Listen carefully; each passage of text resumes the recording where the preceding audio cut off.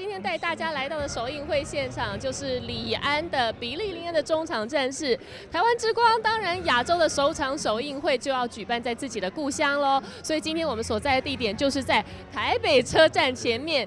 而且台北之后呢，他也会来到他成长的另外一个故乡台南，举办他亚洲的第二场首映会。不过说到这第一次的经验呢，其实男主角乔欧文他也是第一次来到亚洲，更是第一次踏上红地毯，因为这是他人生的第一部作品。我们来听听他的第一次经验感觉如何。I know that this is your first trip in Asia, right? How do you like Taiwan? And did you try anything? You know, I only got here yesterday, but I'm gonna have some time off tomorrow afternoon, and Mason's gonna show me around. So hopefully, I get to see the place a little more. But Unli, did, did he talk about Taiwan to you? Well, I know it's his hometown. He's incredibly proud of being here, and so to be here with him is really special. Thanks. Hello，又见到了，对啊对啊，这次其实你已经不是第一次回到台湾走红毯了，对吗？对对对对，这是第几次了？这应该是第三次吧？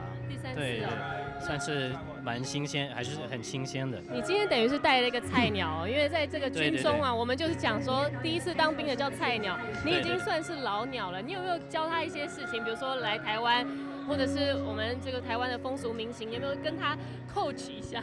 呃，其实我已经不需要帮他，虽然他他是没有经验，但是他已经很成熟，对，呃，很很能干的一个年轻人，对。希望看到你有嗯更多更多很棒的表现。嗯谢谢谢谢。哎 Hello，导演，我呃，其实我刚刚在专访的时候，还有一个问题，我觉得蛮重要，就是因为我知道你每一次在拍戏的时候都会很挣扎，曾经都会想要放弃。这部片不知道你有没有同样的心情？哎一天三次了，一天三次想要放弃，为什么？